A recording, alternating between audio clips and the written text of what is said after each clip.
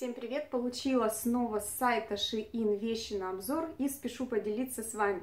Очень понравились мне мои приобретения и хочу просто даже вам похвастаться. Все в этот раз настолько мне понравилось, что я а, не стала бегом-бегом из упаковки все это вам показывать, отгладила, а, привела все это в должный вид и показываю. На мне сейчас блузка и жакет с сайта Shein, брюки у меня Faberlic, я их надела для того, чтобы сформировался комплект грязно-розового цвета пиджак, белая, ну, чисто белая блузка с кружевом.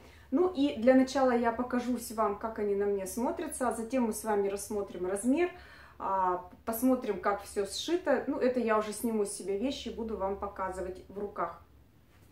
Давайте начнем с блузки. Вот такая белая шифоновая блузка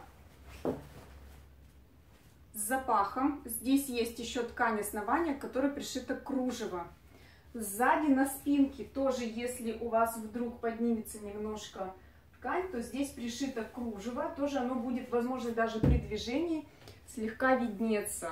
Распашончатый такой у нее крой. Мне, в принципе, нравится. Но единственное, немножко смущает, что живот просвечивает через кружево. Ну, возможно, если надеть юбку повыше, да, бывают же юбки с завышенной талией, то это будет не так заметно. Ну, честно говоря, нормально, в принципе, не сильно тут это все заметно.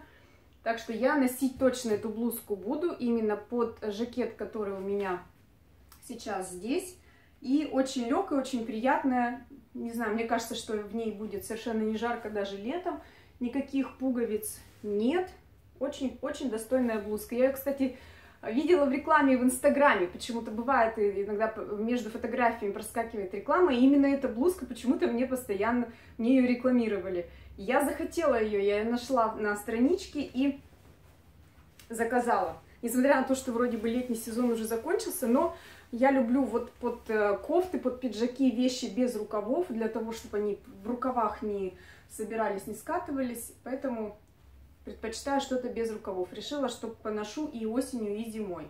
Под, под какую-то вещь.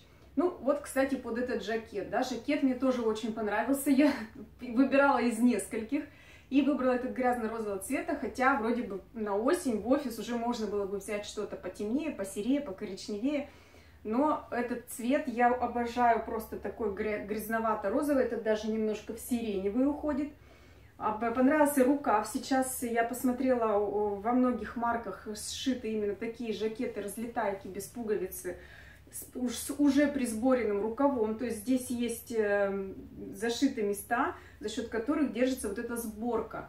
Я перед тем, как гладить, даже боялась, смогу ли я прогладить эти, эти места, но ничего, все хорошо на специальном рукаве, который идет к гладильной доске, все это хорошо разглаживается и э, вот, вот таким уже присборенным видом выглядит.